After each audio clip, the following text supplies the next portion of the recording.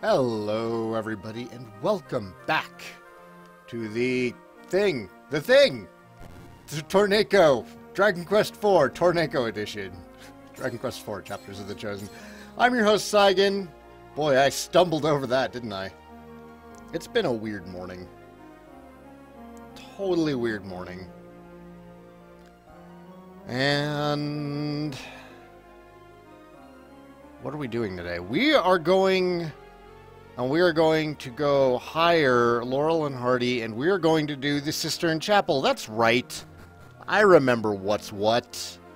I remember what's up. Because we need that money. Got to get that money. Acquire that currency. That GP.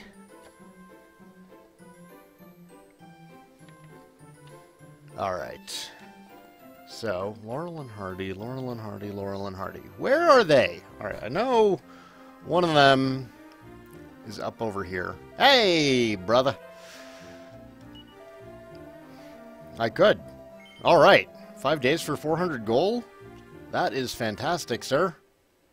Hardy has joined Torneko. Now, these guys work like, um...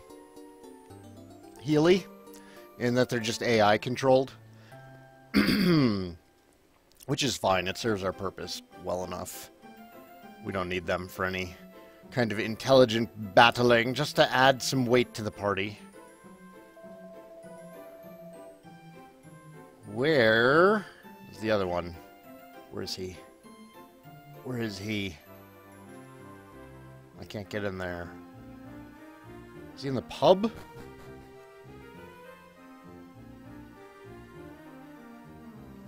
He's at the inn. Okay, so probably upstairs. Uh, there he is. Oi! Ahoy there, Laurel.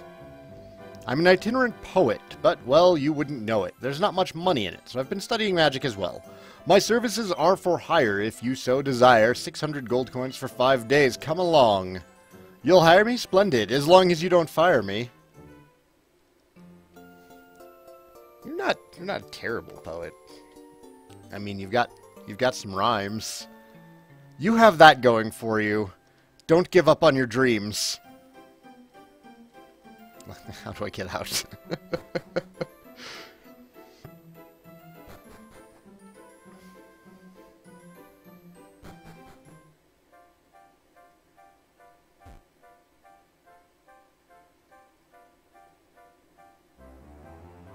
Alright, that's the tunnel. This up here should be the Cistern Chapel. Yeah, these stupid splatty punks gotta go. Killed me last time. That is not okay.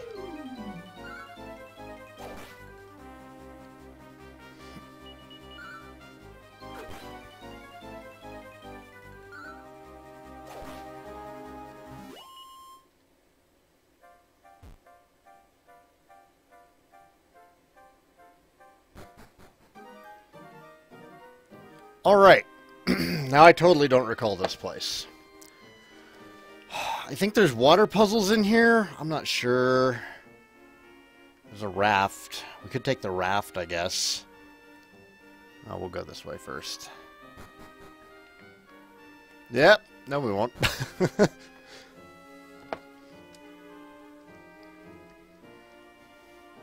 Hope everybody's having a lovely day. A lovely week. Hell, even a month or a year. Guess we're going down further.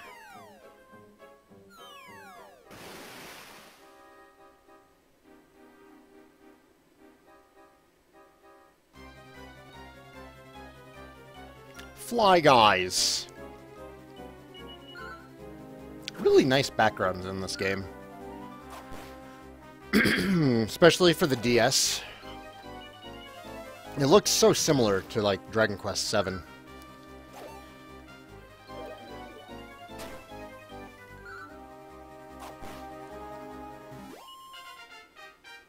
Ba-da-dun dun dun dun.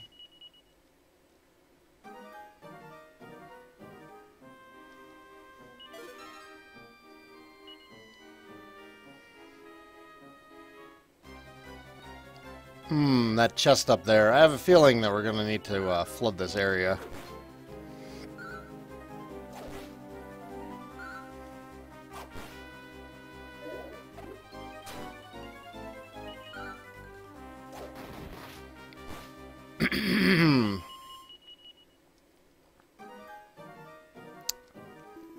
what have you got to say there, Gov?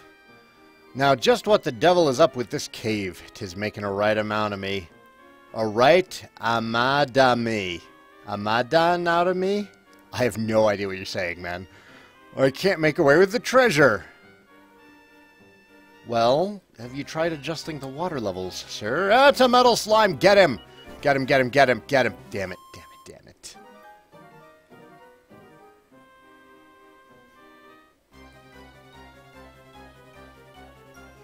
Things appear. Things are confused. Lugworm, you must die. You failed me too many times in the monster arena.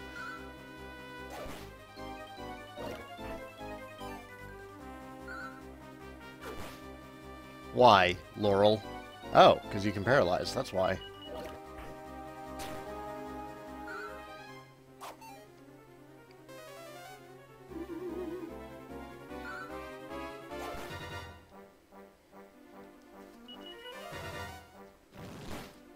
So I'm recording this on the 15th of September. So only a couple of weeks prior to uh, when it comes out, because I started doing the uh, three videos a week for DQ4. Experimenting with different ways that I can um, release the videos. Um, Pokemon Go was recently announced. That looks great. Actually, I rode my bike today to uh, try and uh, you know get into traveling shape because I expect I'm going to be spending a lot more time outside when Pokemon Go comes out. Would you guys like to see videos on Pokemon Go? If you want to see videos on Pokemon Go, I'm sure I can figure something out.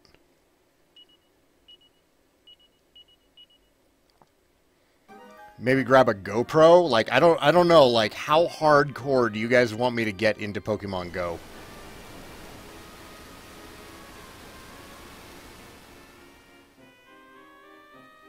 Let me know. Because I'm probably going to be playing it anyways. No, I know I'll be playing it. Because I've been playing Ingress in my spare time. Mostly it just gives me something to do on my walks at work. Oh wait, what am I doing? Go down here. Grab that treasure.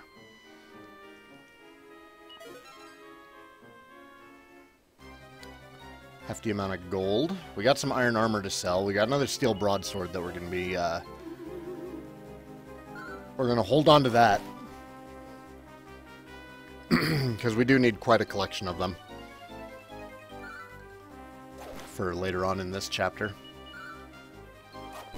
But oh my gosh, Pokemon Go just has me so excited. Ingress is a very solid game. I've seen a couple of ag- augmented reality games, and Ingress so far has been the best and most interesting, uh, mostly because of like the way that the community works. Like it's amusing, and you know, if you want kind of an idea of how some parts of Pokemon Go might work, check it out. Niantic Inc., the uh, the company behind Ingress, is one of the companies working with Game Freak and Nintendo to create Pokemon Go. I cannot get past you. Um, so I totally expect that it's going to be a quality game.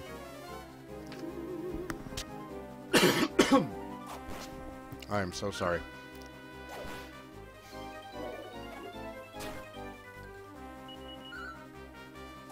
Stupid allergies. Like at the uh, at the end of winter and the end of summer are when allergies start kicking in for me, and I hate it. I hate it so much.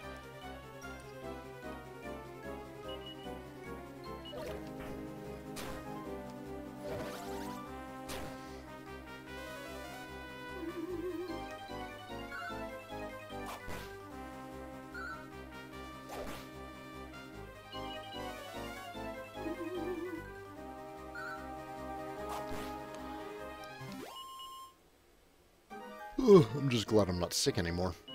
a Holy Lance! I don't think that's better than what we already have. Oh, we can't even equip it anyways. Let's... Alright, let's organize items.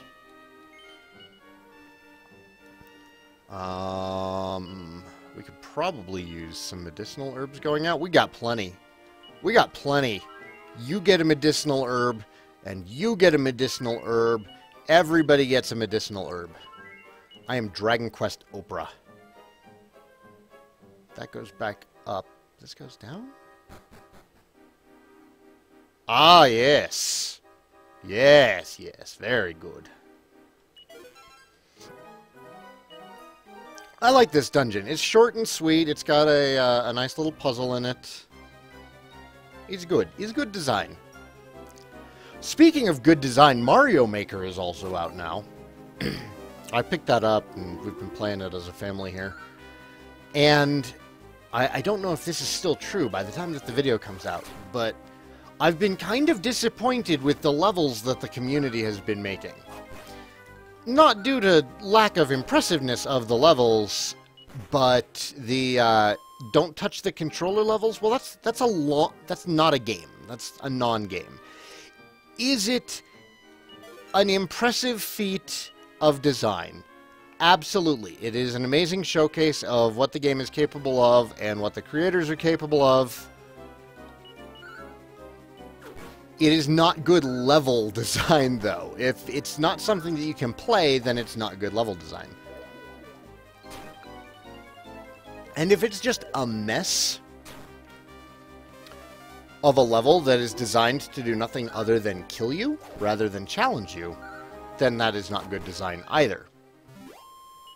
I'm not talking about the Super Meat Boy levels, which, you know, are just insane platforming goodness. I'm talking about the levels that are just like, monsters all over this screen. And not in any kind of pattern either, because then it'd be more like Bullet Hell, which is fine, because there are patterns in Bullet Hell, and that's what makes Bullet Hell good. I'm just talking about the people who make the, the crazy levels with the absurd jumps and platforming requirements and have way too many enemies on screen. And it honestly, it feels like a mess rather than a creation. Having said that, there's uh, there are a couple of really good levels. There was a uh, there was a Luigi's Mansion level that was all 8-bit, and it was it was just a very solidly designed ghost house uh, for the 1985 type Mario. It was good stuff. A ton of water was pouring in on me head just now. I nearly drowned, so I did. But there's a silver lining, like, now I can at least get at me treasure. I'll be making tracks then. How am I supposed to get out of here now? Yeah, also I'm taking your treasure. Oh, no, I guess I'm not. Wait. You probably got this one too? Dicks. Alright, it's fine. You don't have a raft. So I win.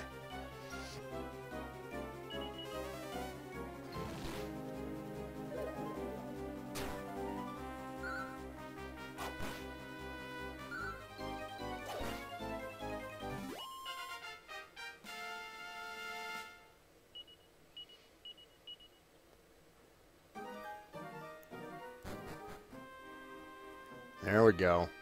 There we go. This is what we're after. The Silver Goddess statue.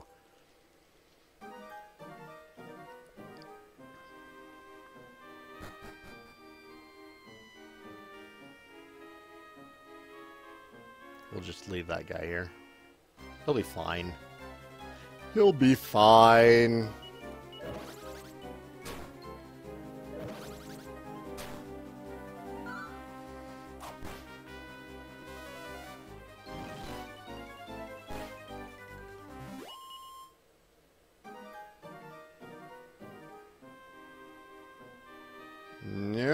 Okay.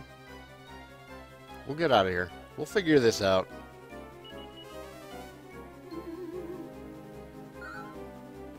And I woke him up. No? Didn't wake him up? See, now the Elipos would be dead if you guys had just attacked the Elipos instead and put the fly guy to sleep. Whatever. Be nice if the NPCs, like, gave you some indication of what they were going to be doing.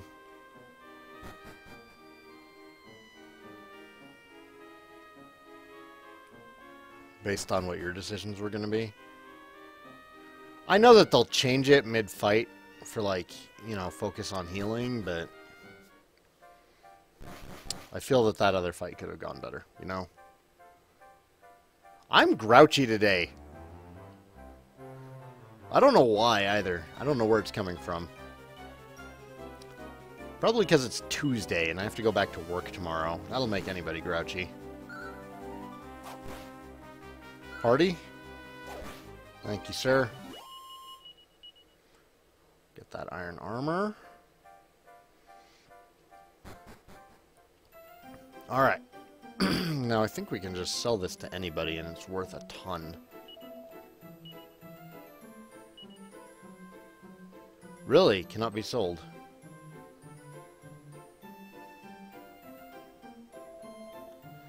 Well, that's curious.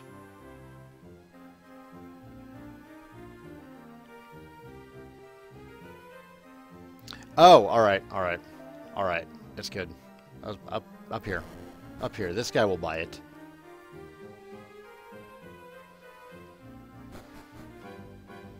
Derp derp. Can it really be the Silver Goddess statue? I'll pay 20. No, 25,000 gold coins for it. Well then, will you sell it to me? Yes, I will. Take that. Get that out of my inventory. All right. We have a sweet, sweet load of cash. It is still not remotely enough to buy our own shop. But you know what it is? Enough for. It's just about enough to get that tunnel finished, which I think was 30,000 gold. We're so close. We're going to go sell um, all that iron armor that we've been picking up back in Ballymoral. And then we're going to head back down and get that tunnel funded.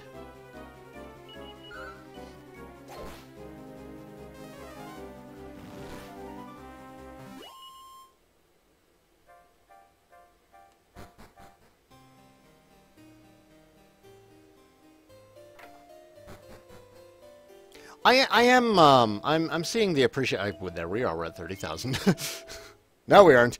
I I'm I understand the appreciation for Torneko's chapter. Looking at it a little bit more critically right now. Um, because none of the other characters would be able to do this. None of the other characters would be able to amass this kind of gold. This is this is the role of the adventuring merchant in this series, and I think that they definitely did it pretty well with Torneko. They could probably have done more with the whole shopkeeping aspect. But uh, he's he's also a businessman. He's not just a shopkeeper. Is what I think I'm getting at. Oi. I would. I have so much iron armor.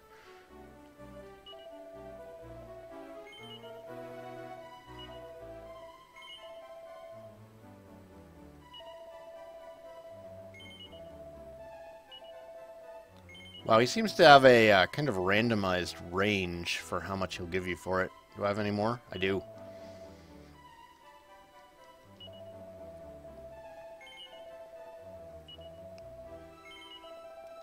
I've seen him go like as low as 1200 and now I've seen him go up as high as what was that before like 1700 uh, it it was a pretty good amount all right we got that money go finish funding the tunnel. And then we'll probably call it a day for this episode. Oh, hey, random merchant. Don't don't be selling anything too good. Oh, you're here to let me rest. Ah, uh, okay, sure. Why not?